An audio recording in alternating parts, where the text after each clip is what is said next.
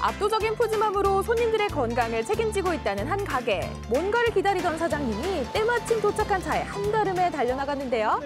예, 싱싱합니까? 예. 대체 뭘까요? 뭐가 꿈틀거리는데요. 네. 네, 드디어 모습을 드러내는 건강식 재료. 이게 바로 캐나다산 랍스타입니다. 캐나다에서 창원까지 날아온 랍스터. 이날 가게로 온 것만 해도 무려 100마리라고 하니 옮기는데도 한참이 걸린다는데요.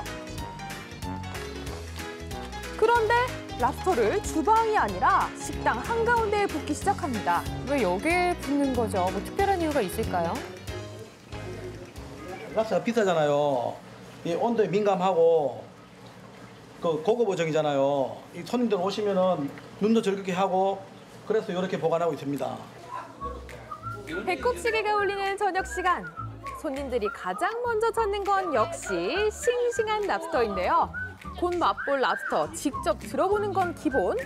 인증샷까지 남기며 특별한 광경에 즐거워합니다. 아, 너무 싱싱해요. 이 싱싱한 랍스타를 내가 먹으면 미안해서 어떻게 하지? 먹기 미안할 정도로 싱싱한 랍스터. 과연 어떤 요리로 변신할지 주방 안으로 들어가 봤는데요. 그런데 한창 손질하고 있는 재료들을 보니 함께 준비되는 해산물 종류가 한두 가지가 아닙니다. 조개 종류가 한 아홉 가지 정도 되고요. 해사, 해산물만 한 여섯 가지 정도 됩니다. 랍스타 빼고 다까지 들어가고 있어요. 그게 무슨 요리예요? 예, 그게 한대찜이라고 합니다. 우와, 재료 좀 보세요. 와, 정말 많네요. 끝이 없습니다. 그렇죠. 랍스터를 시작으로 건강식에 빠질 수 없는 전복. 여기에 닭까지 무려 20가지가 넘는 재료로 황제찜 한 판에 들어간다고 하는데요. 이렇게 많은 재료를 넣는 데는 이유가 제 있습니다. 마인드가 한 끼를 먹어도 푸짐하게 먹자는 건데요. 가족들이 와서 맛도 챙기고 영양도 챙기고 이렇게 많은 해산물들을 넣는 겁니다. 해물찜 어디까지 드셔보셨나요? 채소는 물론 싱싱함 살아있는 해물들 총 집합. 첫 번째 해물 선수. 여섯 종류의 조개가 먼저 냄비에 1층을 장식해주고요. 여기에 빠질 수 없는 보양식 재료인 달기, 영양과 맛의 깊이를 더해주는데요. 아우, 이미 충분했는데 또 올라가네요. 저러다가 쏟아질 것 같아요. 네, 대단하죠. 마지막으로 황제찜의 활용점정 랍스터까지 올려주면 손님상 나갈 준비 완료. 황제찜의 등장에 절로 박수가 나오는데요. 이야, 이거 어디서부터 먹어야 되나? 이거 다 먹을 게지 너무 많네, 이거. 와. 황제찜을 두고 행복한 고민에 빠지는 것도 잠시. 취향 따라, 입맛 따라 원하는 해산물 찾는 재미에 젓가락질 바빠지고 끝이 없는 푸짐함에 속까지 든든해지는데요. 삼계탕에 전복에 각종 해산물이 다 들어간 이렇게 한꺼번에 다 먹을 수 있는 이런 음식을 한 곳에서 먹을 수 있다는 게 너무너무 좋습니다. 바다와 이 육지와 이 만남, 이게 한쌍궁합 아닙니까, 이게? 이게 여름철 이 보양식이 이것만한 게 어디 있습니까, 이게? 이때 여성 손님들에게 인기 만점인 랍스터 요리가 준비됩니다. 예, 이게 버터구이라는 건데요. 버터에 구우면 고소하고 담백하고 맛이 일품입니다. 이야, 버터가 들어갔으면 안 좋아할 수가 없는 맛이겠네요. 그렇죠.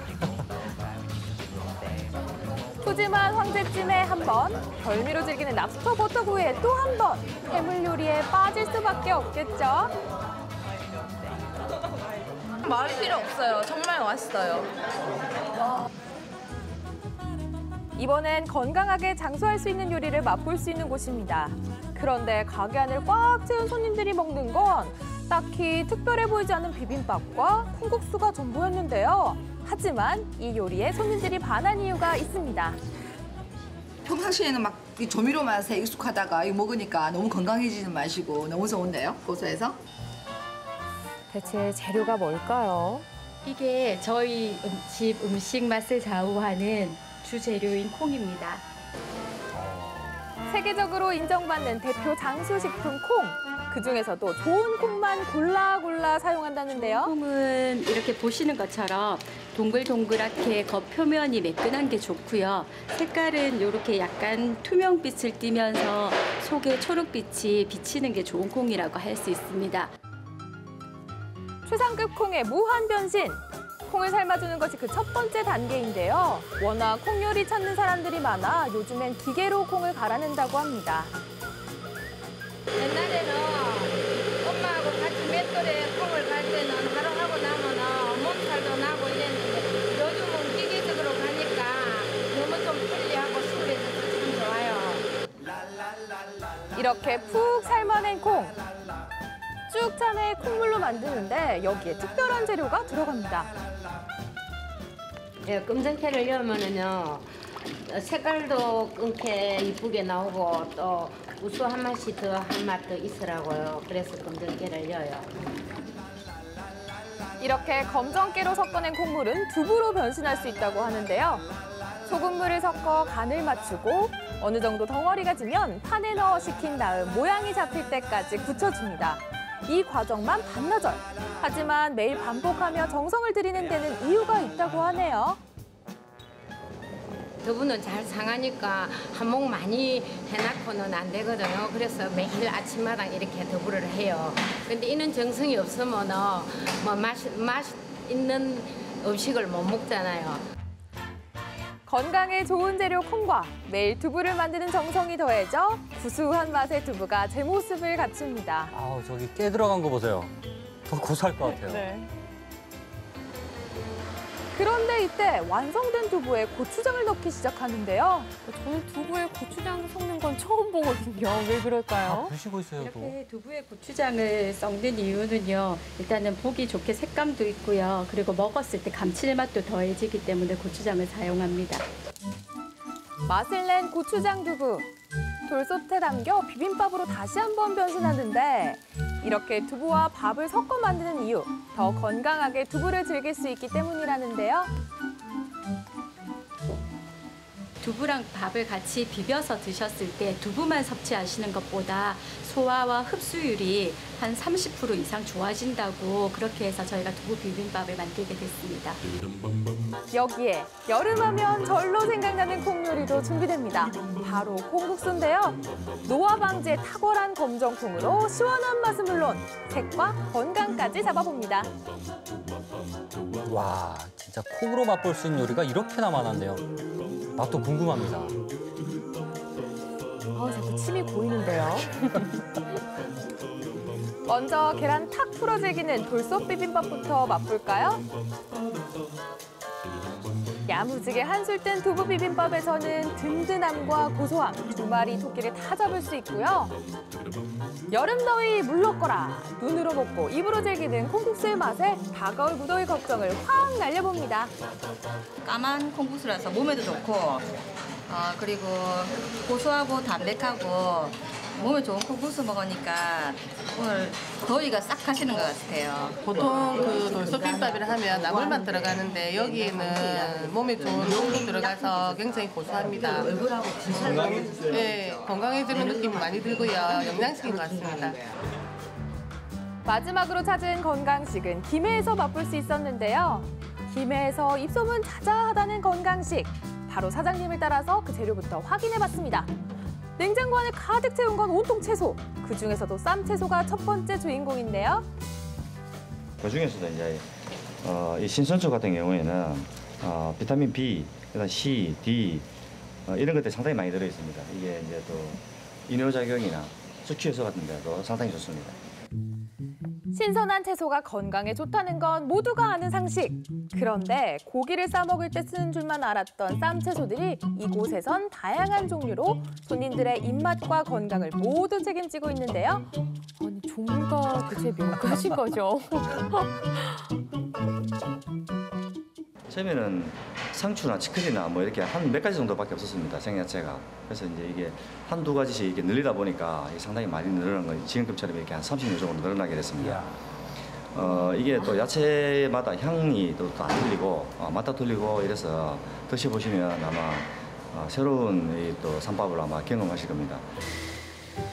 한쪽에선 또 다른 채소 요리가 준비되는데요. 채소를 데쳐 나물로 만들 거랍니다. 어, 근데 소금을 왜 저렇게 뿌리는 겁니까? 예, 야채를 숙성을 하는 겁니다. 이게 데쳐가지고 소금에다 절여놨다가 한 2년 정도 이렇게 숙성을 하시면 묵은지처럼 아주 이게 숙성이 돼가지고 깊은 맛이 납니다. 다른 재료 없이 오직 천일염으로만 숙성해 만든다는 나물. 2년이 지나니 확 바뀌었죠? 그러네요. 자, 쉴 틈 없이 준비되는 이곳 건강식의 다음 재료. 쌈채소로 꾸미는 쌈밥 한 상에 없어서는 안 될 짝꿍을 만들 때 쓰는 거라는데 온통 견과류뿐입니다. 쌈장에 들어가는 재료들입니다. 쌈밥에서 가장 중요한 게 재료들인데 어, 각종 씨앗들을 한 20년 정도 넣어가지고 저희가 만드는데 어, 드셔보시면 아주 그 고소하고 금, 어, 영양가 많은 쌈장으로 아마 드실 수 있습니다. 쌈밥의 맛을 더 살리고 각종 견과류로 영양소를 더해 매번 쌈장을 직접 만든다는 사장님. 맛과 건강을 모두 생각해 몇 년간의 연구 끝 개발한 거라는데요. 20여 종의 씨앗은 물론 절대 재료를 공개할 수 없는 비밀 소스까지 더해 비비고 비비고 이대로 일주일간 발효를 하면 구수한 향의 쌈장이 완성됩니다. 주문해서 쌈장 나왔습니다. 건강한 재료들로 가득한 쌈밥 한 상 대령이요. 신선한 채소와 정성으로 만든 쌈장까지 더해지니 그 맛이 더 기대됐는데요. 네, 이렇게 보기만 해도 건강해지는 기분입니다.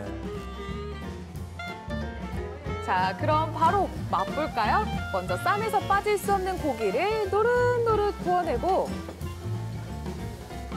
오늘의 주인공 쌈채소에 밥, 고기 그리고 쌈장을 야무지게 넣어 푸짐한 쌈을 완성해 보는데요.